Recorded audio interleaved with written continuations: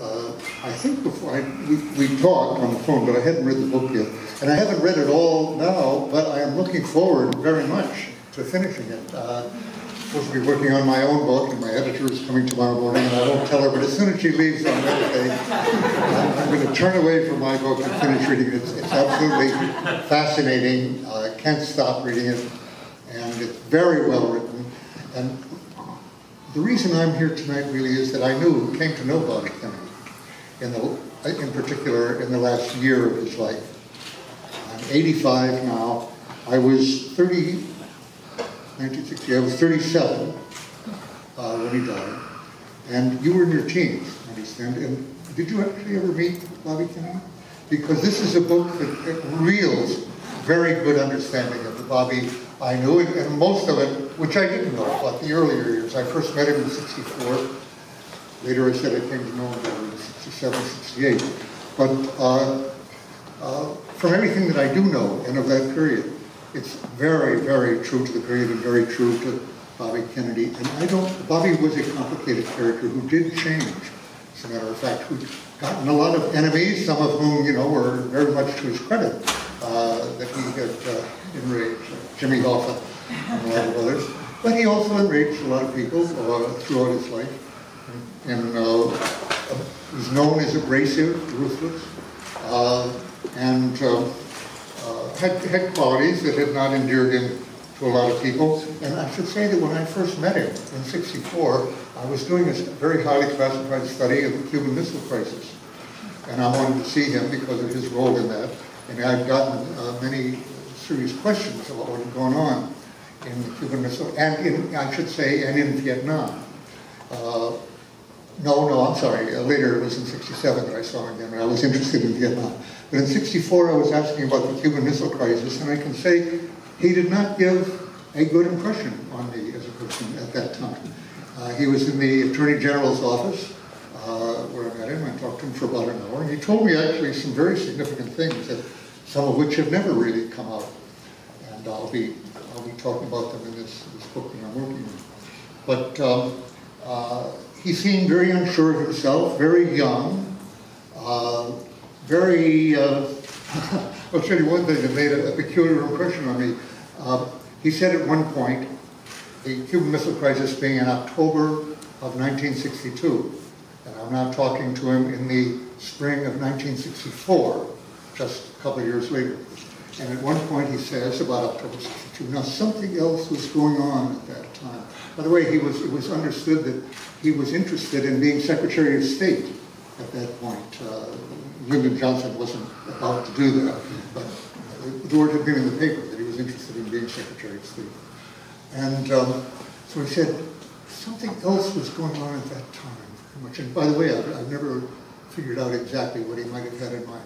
But he was thinking about it, he tapped the said, when was Vienna, the Vienna summit? I said, well, that was spring of 1961. It's a year and a half earlier. Said, yeah, yeah. And went. Oh. I thought, this guy wants to be Secretary of State. that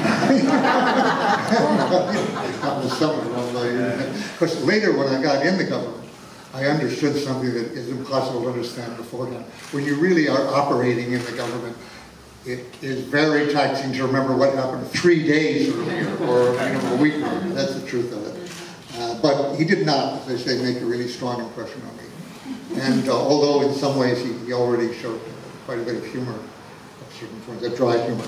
Okay, three years go by. I've been in Vietnam then for two years, come back with hepatitis, and I believe we should get out but I had also been working on this study of the Pentagon Papers and uh, uh, had, had arrived at very puzzling things about, uh, we can talk about, about his brother, Jack, and their policies at that time. But the reason I'm saying this now is he now made a totally different impression on me. Uh, we actually met when we were both speaking to a gathering, a national gathering of CBS executives from all over the country. And I gave my pitch, having just come back from Vietnam, about the ineradicable stalemate we were in, the need to get out, you know, the, uh, the. And he spoke, and he was the first person I'd met in Washington who not only had the picture of the need and why we needed to be getting out, but seemed to have a passion about it, and an emotion, and a commitment. I really hadn't encountered that.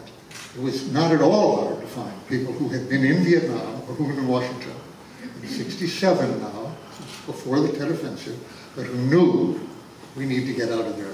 We're stuck. It's a stalemate. It's six months before Walter Cronkite says after the Tet Offensive, we are in a stalemate and we must negotiate out. But at this point, uh, it was well known within the government, but not at all outside. And I think this is the first person I've heard who seems really committed on this issue and have a, have a, have a passion about it. Well, I'll sum up this point that I wanted to introduce you by just saying, I then, uh, he came back with me, we went to his office after we'd spoken to CBS, because he wanted to ask me more questions, and we, we had very, very interesting uh, exchange then. And ultimately, in the spring of 68, uh, for reasons we may go into if we have time later, I began to see him uh, for a period almost every day, every other day or so. Saw a lot of him uh, at his home and had dinner. He was the, so as I say, Larry has brought out this person who had changed unmistakably.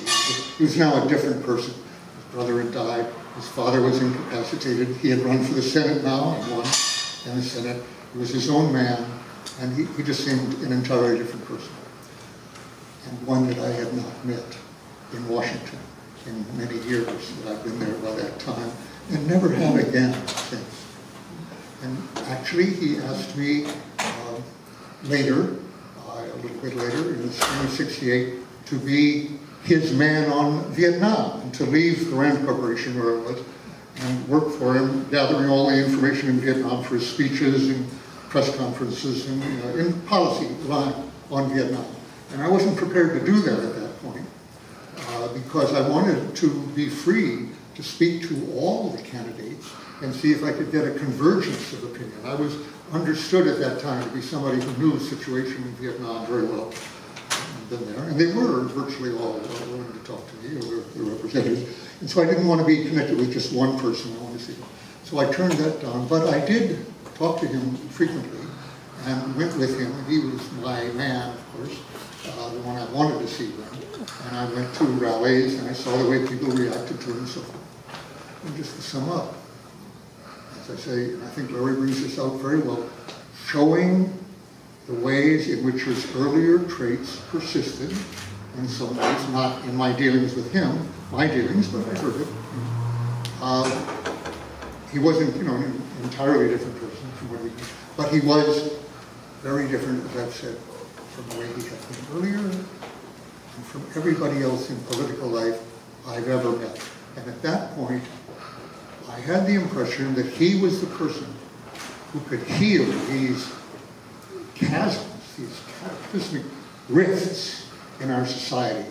Uh, remember, 68, how long almost 40 years ago now, uh, we're, we're, we're in a racist campaign right now. Race is at the top. After eight years of an Afro-American president, uh, race has never been. Well, Bobby Kennedy was clearly the person, as a white man a politician, Catholic, who had the ability to not only talk to the blacks, but at the same time appeal to the white uh, Appalachians, the blue-collar workers that Trump is making a racist appeal to. Who else you know, could bridge that? So I thought, he's, and he was clearly going to get us out of Vietnam. The war had seven years to go at that point. And had he lived, and had he been president, which is a big if, but the real possibility, I believe we would have shaved seven years off that 30-year war. So Vietnam, America, but this is the man who can transform, who can save our country. He was the only politician I've met that I believed had that transformative and unifying capability. And he was the only politician, and I wasn't wrong about that. And he was the only politician I ever loved. And I didn't know that, what I felt about him until he died, until the morning he died. And I cried for half an hour, and I realized that what had died within me was a sense that this country could change or be changed. I had at that point a, a vision. Perhaps there is no way to change this country. And that wasn't uh, an excessive reaction at that point. And I also realized that I had uh, that I loved it at that point, which I wouldn't have said a week earlier. And that's never left me, and I think he was worthy of it. Well, I think this book will convey better than anything I've seen, uh, the